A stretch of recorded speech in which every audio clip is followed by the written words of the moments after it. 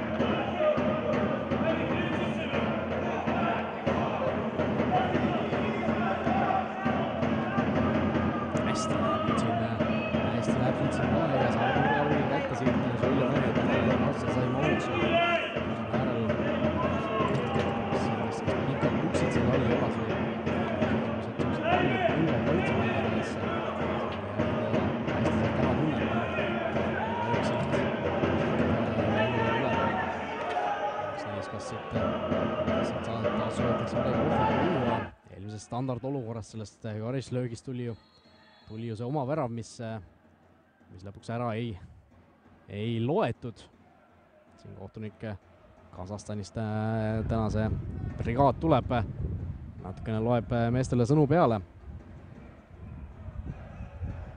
tõesti päris pikalt juba nii, nii varajase mängufaasi kohta. ja saab uuesti nurgalööki proovida Želježnitšar ja Kotenko õhus eksib oi, oi, oi, oi, oi. Artur Kotenko, meeskonna kõige kogenum, kogenum mängija eksib nii. juhtima minna, noh, no võib-olla läheb see oma väravaks, võib-olla sai seal ikkagi keegi vastastest enne, enne väravajoont jala vahele, igatahes selline, selline käkk tuleb siit Artur Kotenkolt ja oi-oi, kui kahju on sellest mängu algusest, mis tõesti oli siin päris hea välja nägemas juba Transi poolelt. aga ikkagi tuleb selline, selline tõeline pirukas siit. ja üks-null on mänguseis või null-üks, ütleme siis nii. Želježnitšar siis varakult-varakult juhtima asunud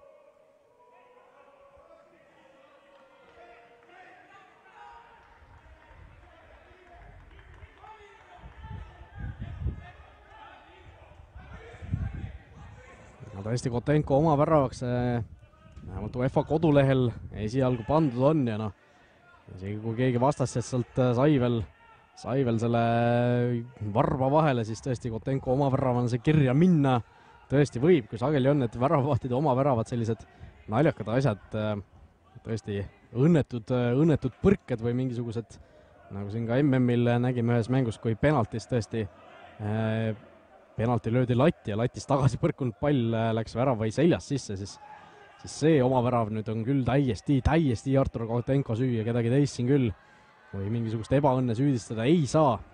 Artur Kotenko tõesti meeskonda siin alt vedas, ei ole midagi öelda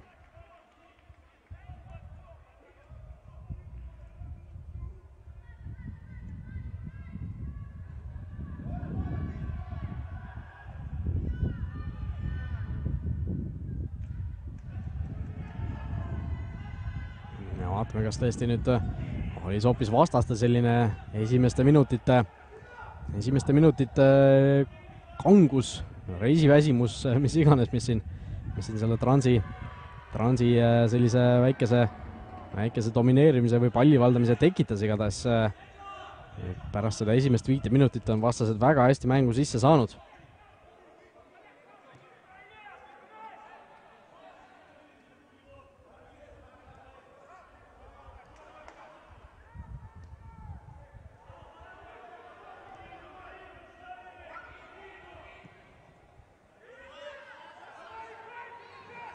ja sööt liigub, liigub kenasti, nüüd käis äh, vastu kätt ka. Pall äh, siin Zaikovitšil ja ja kohtunikud äh, sellega ära fikseerisid, tundus, et peakohtunik seda esialgu kusjuures ei näinud, aga, aga abikohtunik väga, väga selliselt agaralt oma lipuga veel lehvitas ja, ja selle olukorra enda peale võttis. Ambergilt nüüd pikk pall ette, aga aga otse out'i see läheb, no ei tea, kas Transi meestel natuke sellist liiga palju närvi on nüüd siin sees või, või mis toimub, igatahes ei ole, ei ole pärast seda esimest, esimest eematust, kui see oma värav, tühistatud oma värav siis tuli, ei ole kohe üldse, üldse mängu sisse saanud. või siis tuleb lihtsalt tõesti see tasemevahe välja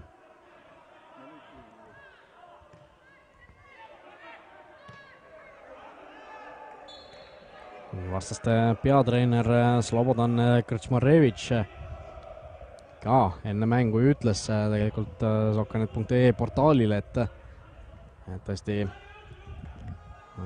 see tasemevahe Eesti ja Bosnia liigade vahel tegelikult on, mitte küll suur, oli, oli seal viisakas, aga, aga on. ja tegelikult noh, tasemevahe on juba siin Eesti liiga sees, siin esikolmik Flora Levadia Kalju ükskõik mis järjestus nad parasjagu siis ei oleks, on ikkagi äh, selline paar astet sellisest äh, transisugusest meeskonnast kõrgemal, vähemalt, äh, vähemalt siin sel ja paaril eelmisel hooajal nii on olnud.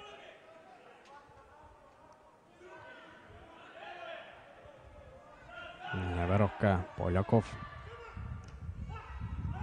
Škinjov jätkab ja, ja selline korralik olukord nüüd siin tekkimas oli Transi meestel, aga aga vastaste kaitsed on ka kenasti, kenasti seal vastas ja ei tule sellest midagi välja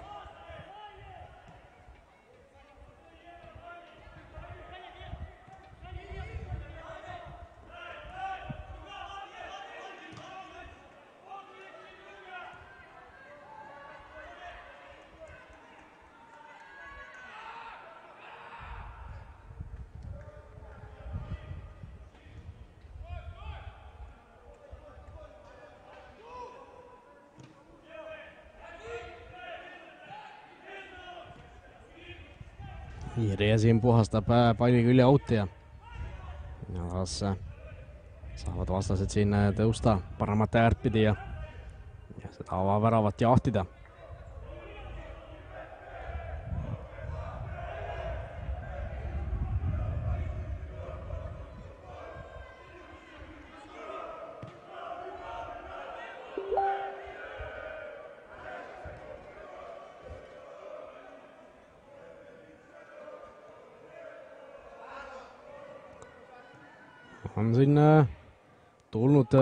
Tallinnasse omadele kaasa elama ka selline paarikümne liikmeline fännipunt äh, Bosniast.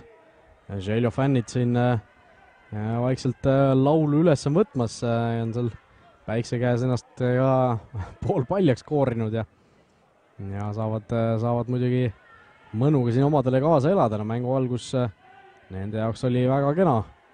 kaks väravat, üks neist, üks neist loeti ära, teist, teist, teist kohtunikud ei tühistanud, mõlemad siis oma väravad tegelikult ju olid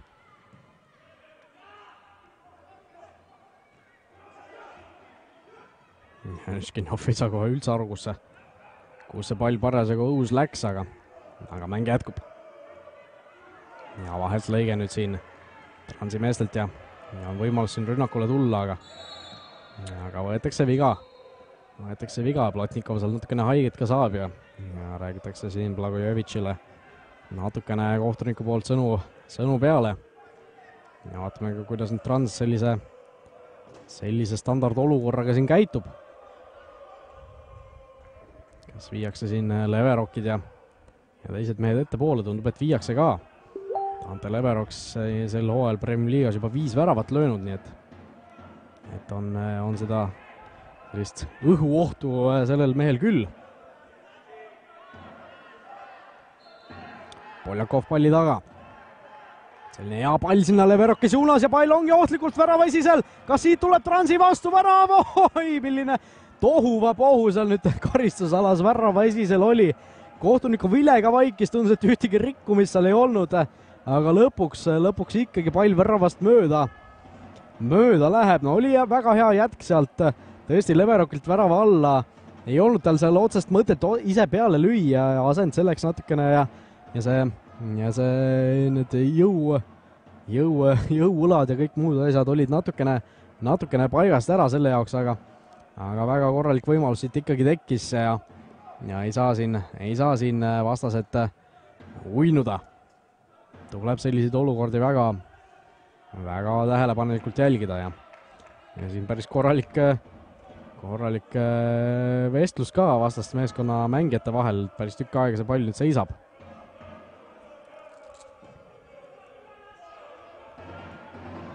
Leverok jällegi õhus, selle võitluse võidab, aga aga lööb palli otse vastasele.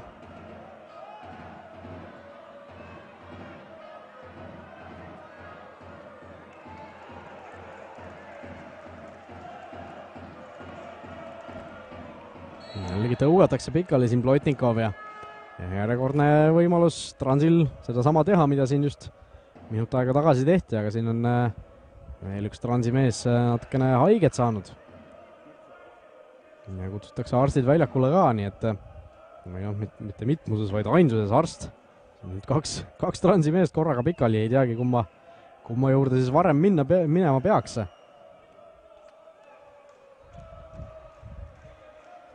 no siin tuleb ilmselt kordamööda käituda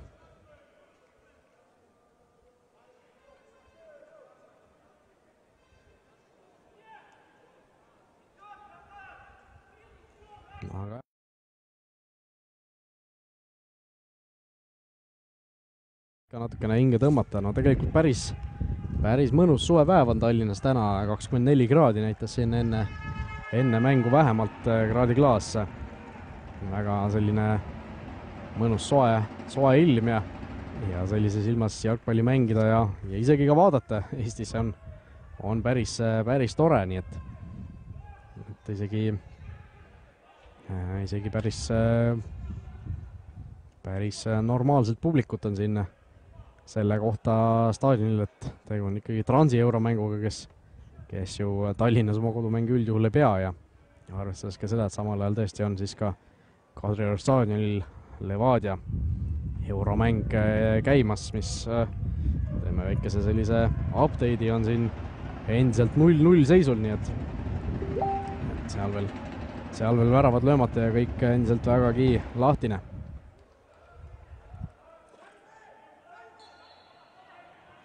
Aga Transi karistuslöök taas, seekord kõiki pikki mehi ette ei viida, aga, aga on siin, on siin ikkagi päris ohtlikult pall sinna Barkovi suunas tulemas, aga lõpuks ikkagi kaitsjad hästi seal ennast, ennast vastu, vastu panevad talle ja selle olukorra ära klaarivad ja tuleb nüüd Kjosevski äh, päris, päris, päris kaugele selle palliga jalutab. Ükski transimeestel alg-, esialgu peale ei lähe ja lõpuks üritab väravaht palli otse üle küljejoone.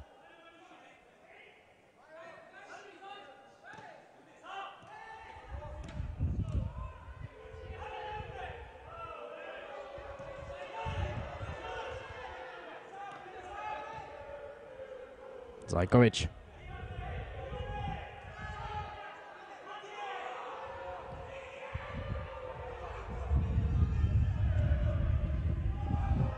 hästi Zajkovic ja atsenderdus sinna väravasisele, aga Leverok seal klaarib. Ja nüüd saavad ka teise palli transimehed kätte ja kas on võimalus siit mingiks kontraks, no õnnega pooleks jällegi see pall. Narvale meestele jääb, Broši minemas siin jääb võileiba ja ja vilistatakse taas viga siit transi kasuks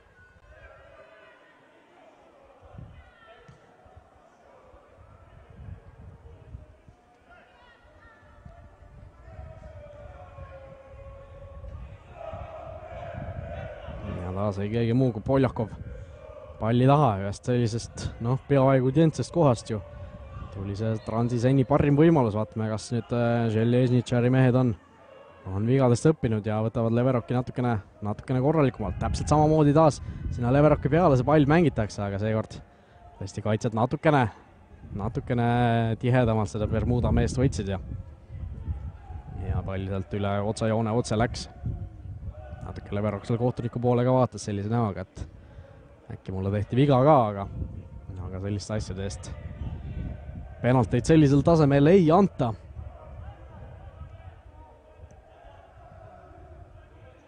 ei olnud seal ka tõesti erilist, erilist mingisugust kinnihoidmist või tõukamist, oli seal keha keha vastu selline kontakt muidugi, aga aga ei midagi veaväärilist. siin nüüd tabab, tabab Željo mehe pealelöök oma mängijat. Narežna üritas peale lüüa, aga Zaimovitš ette jäi. ja kõigil lisaks veel oli selle ajal suluseisus. Parkovile see pall mängitakse ja, ja saab seal Plotnikov natukene keerutada. Škinjov selgelt jääb aeglaseks siin ja ei suuda piisavalt kiiresti, kiiresti mõelda ja palli poole liikuda sellisel tasemel niimoodi nii lihtsalt tegutseda ei saa, peab natuke kiiremini olema ja tundub, et siin ikkagi Trans peab esimest vahetust ette valmistama, sellepärast et äh, kui ma siit kõrgelt õigesti nägin, siis Viktor Plotnikov, kes siin keskringis parasjagu lonkab, näitas pingile seda jalgpallis tuntud vahetuse märki, nii et äh, peab siin Trans ühe sunnitud, sunnitud äh, vahetuse kohe esimesel poolel tegema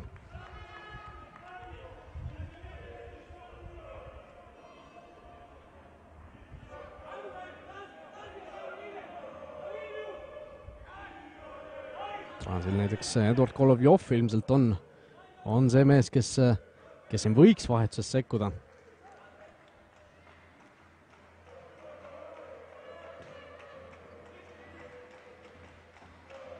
aga vaatame, Platnikov seni veel platsil ringi longib ja, ja sellist äh, otsest äh, ja ikkagi lõpuks see liikumine toimub ja ja on tundub, et see tõesti Golovjov, kes endale särgi selga paneb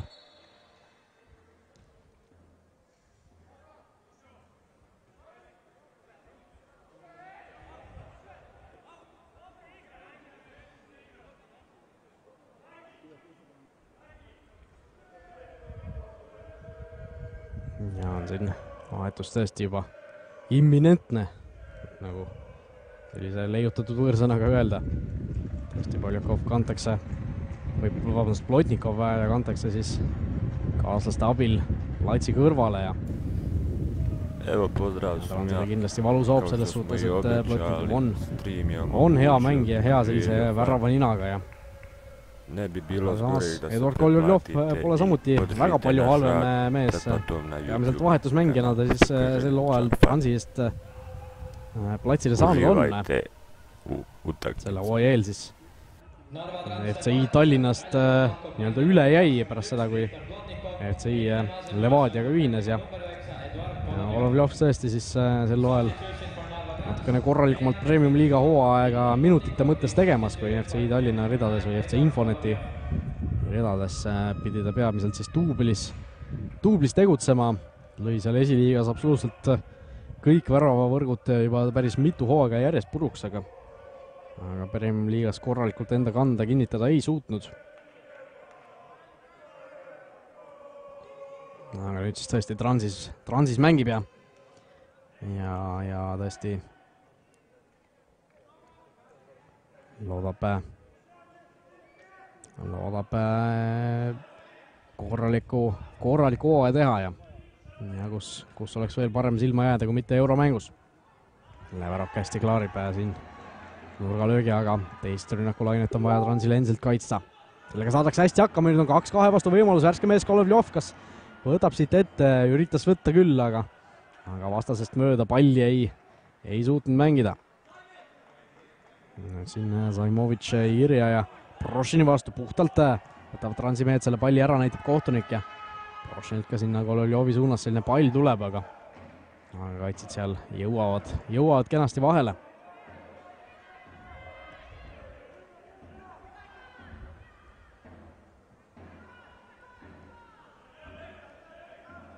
Leverok kukub ja annab seal vastastele võimaluse tulla. Zaimovitš taas hea sööt sinna karjusalasse ja, ja saab Kõrpitš ka löögile, aga nurgalöögi, nurgalöögi siit vaid teenib, Leverok seal hästi vastas oli ja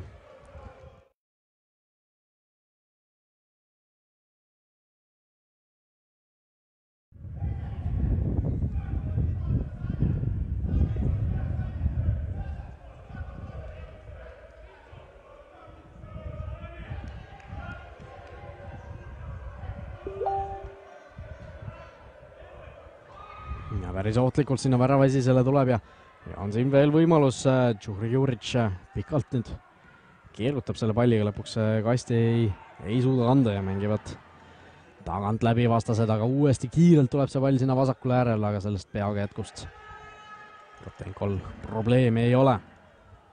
ja Ravailt kohe pikk pall ette. Barkovi suunas see tuleb ja Barkov ka jätkab sinna Golovjovi suunas, aga aga paraku ebatäpselt.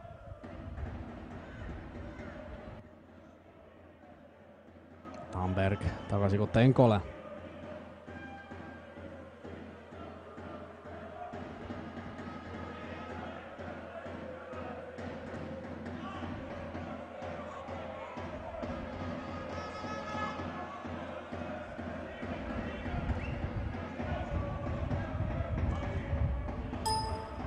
Škinjov, Prošin. Transil jällegi väikene šanss tekkimas, Golovjov saab söödu, aga tõuseb ka suluseisu lipp ja sinna see, see olukord ka läheb.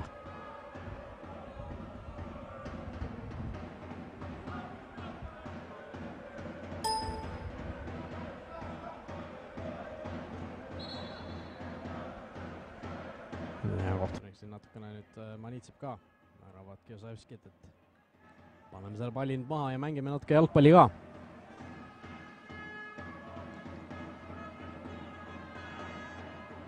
Josevskilt pikk pall ette ja päris äh, kavalalt oli sinna täpselt Žina äh, juurde kukkumas, aga aga kaitsjad nägid selle olukorra kenasti läbi ja ja esimese ohu klaarisid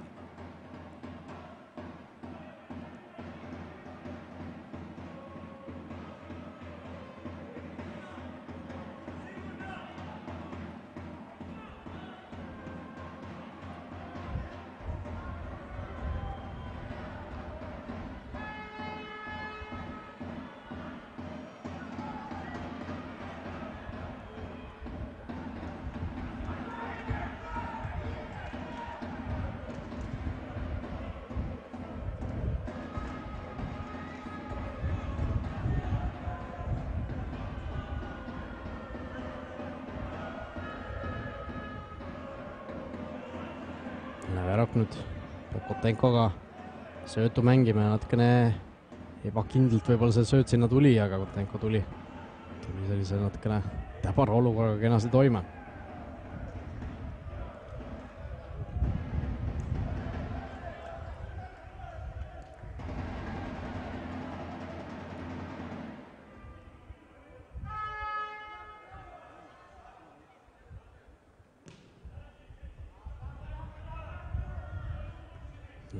Leverok taas neid õhuvõitlusi on sealt päris korralikult täna juba võitnud.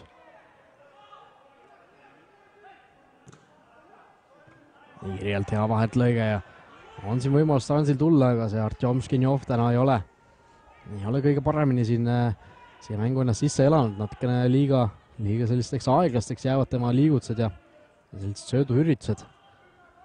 see tasemevahe, tasemevahega harjumine või selle mängu tempoga harjumine tema jaoks natukene keeruline olnud täna. aga siin on võimalus tulla löögile ja tuleb ka löök ja Kontenko, Kontenko kenasti selle, selle Zaimovitši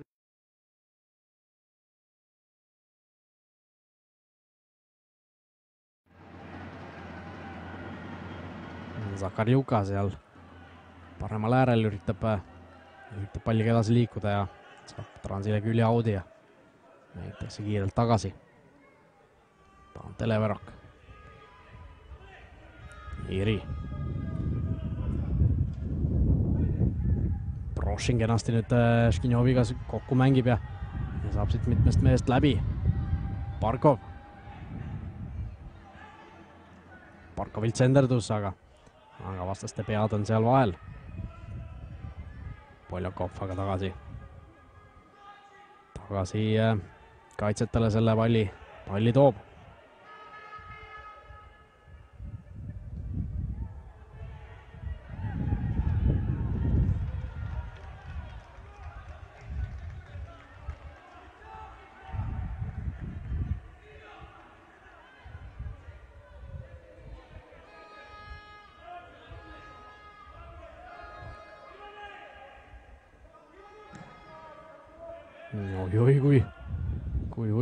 Pall ette nüüd siin äh, vastaste väravalt Josevskilt otse Artur Kotenkole. no jäi küll natukene selline tunne, et mees pani lihtsalt silmad kinni, virutas selle palli ette.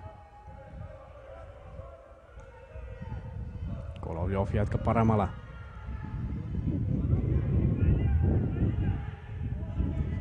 Tammberg tagasi, tagasi Kotenkole rahustab natukene Trans. aga Kotenkolt järjekordne selline ebaõnnestunud, ebaõnnestunud pall ja ja, ja tõesti ei ole see mees üldse hästi seda mängu, mängu alustanud ja, ja kui siin, kui siin tuli just uudis värskelt, et äh, Narva Trans äh, lisas lisas meeskonda uue väravvahi Kosovost pärit Betim Halimi, siis, siis võib-olla seda, seda tänast Kotenko esitust vaadates ei ole, ei ole see teab mis ime. kuigi jah, Betimi siin eh, viisaprobleemide tõttu ei, ei saa veel Transi esindada, kuigi ta on siin üles antud juba meeskonda. aga täna ta ka teda koosseisus ei ole. aga vaatame, siit tuleb päris hea äh, variant jällegi, jällegi Željol, aga Prošin. Sealt enne, enne Saimovitšit äh, kenasti selle palli üle otsajoone, üle otsajoone suunab ja siit tuleb nurgalöök Želježnitšarile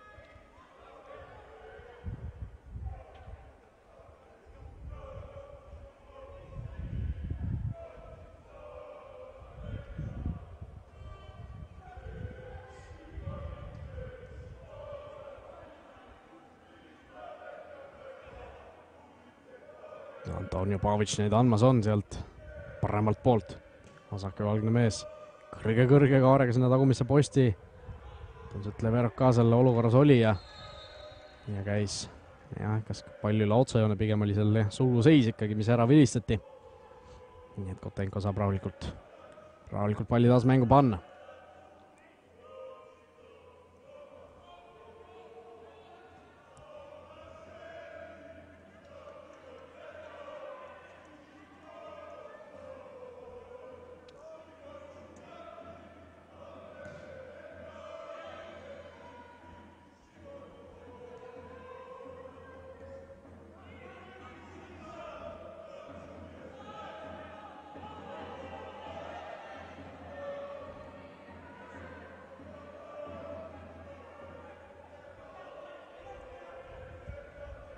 kenasti jällegi sööt liigub ja ja aga nüüd on transimehed ka päris hästi kaitses vastas, kaval tõste tuleb sinna, aga Leverov hästi paneb oma keha vahele ja ja sealt äh, Trans äh, järjekordset nurgalööki vastastele ei anna, vaid siit tuleb ikkagi äh, Artur Kotenkole väravalöök. samal ajal on siis nelikümmend üks mänguminutit tasapisi täitumas, Narva Trans endiselt siin Euroopa liiga esimese eelringi kohtumises, avakohtumises Bosnia mulluse hõbeda klubi või mitte mulluse, vaid eelmise hooaja siis kevadise hõbeda klubi Željeznitšeri vastu. null-üks kaotusseisus. väravahi Artur Kotenko väga inetust oma väravast, kes mängu algust ei, ei näinud või, meie, meie ülekandega alles värskelt liitus, siis tõesti nurgalöök seal suhteliselt avapoole alguses aastastel tuli, Kotenko, Kotenko läks seda kahe käega püüdma, aga aga suutis kuidagi hoopis oma väravasse selle, selle pudistada, nii et tõesti päris, päris rasvane eksimus siin Transi väravavahi poolt. selle kahe mehe meeskonna vahe seni siin esimese neljakümne, neljakümne ühe, neljakümne kahe minuti jooksul olnud on. aga järjekordne nurgalöök, seekord paremajalgne Regina seda andmas. Esiposti tuleb ja sealt Transi mehed kenasti puhastavad ära ja, ja ohtu sealt, sealt ei teki. natuke nüüd taas võimalus liinid üles seada. Nastaverot Kjosevski, oleme täna näinud neid väga pikki palle, armastab, armastab väga ja ja siin nüüd äh, korralikuks äh, maadluseks läheb, tundus, et vastas mängija üritas siin vile järel seda palli kinni hoida ja ja Transi mehed kohe üldse ei olnud selle, selle teguviisiga rahul. kohtunik läheb, rahustab natukene selle olukorra maha ja ja läheme taas.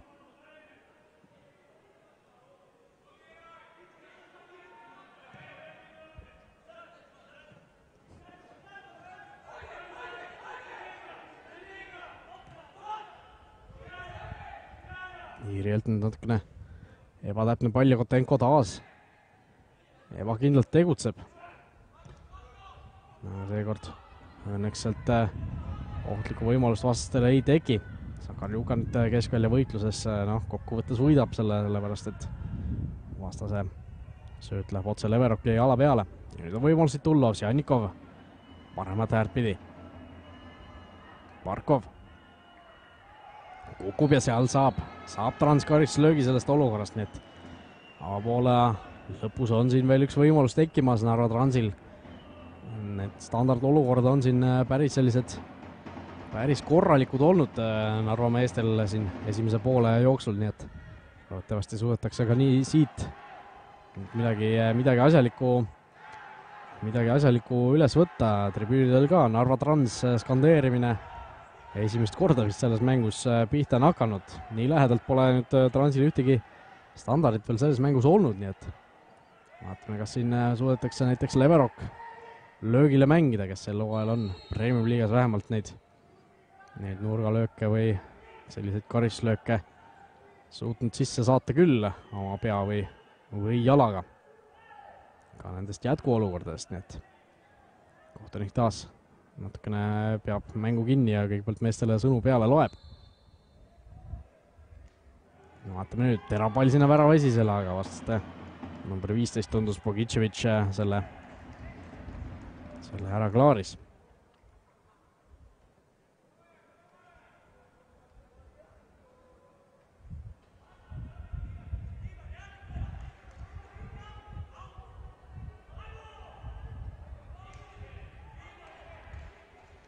ja päris pikalt nüüd seda aut seal äh, meisterdatakse.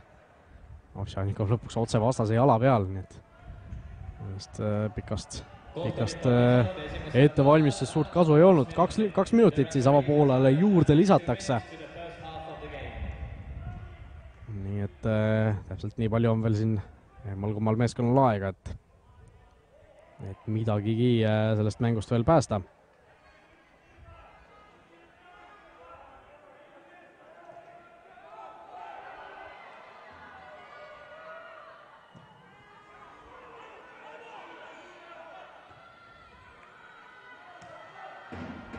Voljov pikendab õhku veel.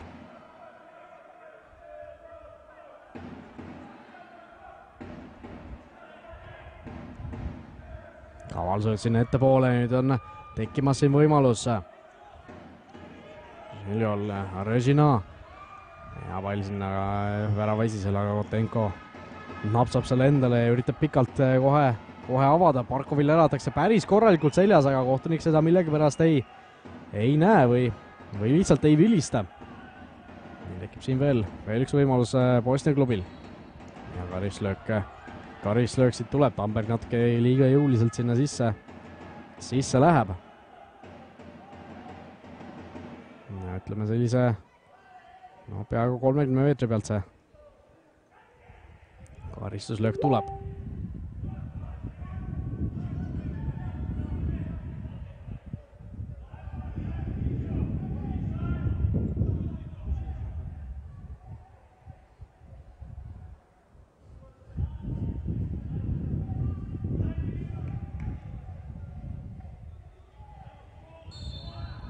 Kolm meest Rans müüri pannud lausa viis meest seal palli ümber Bosnia meeskonnal ja tuleb päris selline hea terav löök ja see oli Sovtšannikov, kes seal sellega pihta ka sai ja nurgalöögi siit veel, veel Bosnia klubi siin avapoole lõpetuseks teenib. Cornerid on siin olnud päris mitmeid juba ja ja ühest neist siis tuli ka see avavärav, kui Kotenko selle väga ebaõnnestunult oma väravasse pudistas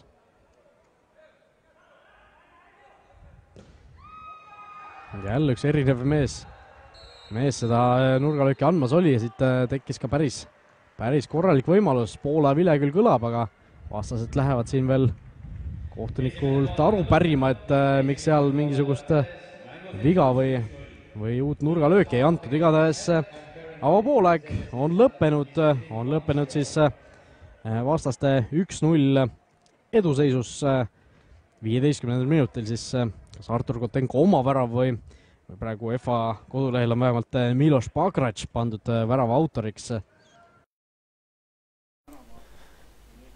Pozdrav svima, da samo javim da, evo, kao što vidite, onaj, kraj prvog poluvremena, javljamo se početkom drugom, nemojte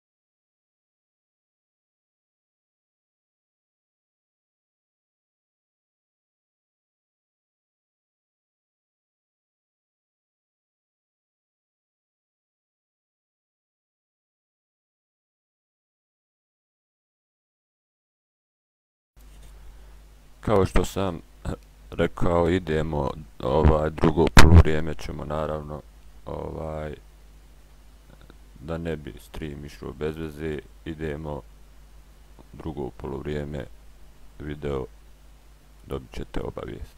Pozdrav naravno od želje fan kluba i svih vas kao što smo obećali imamo, našli smo link i stream imate džaba uvijek kod nas pregled svih željnih ako Bog da naći ćemo i potrudit ćemo se svi da nađemo naravno sve željne utakmice.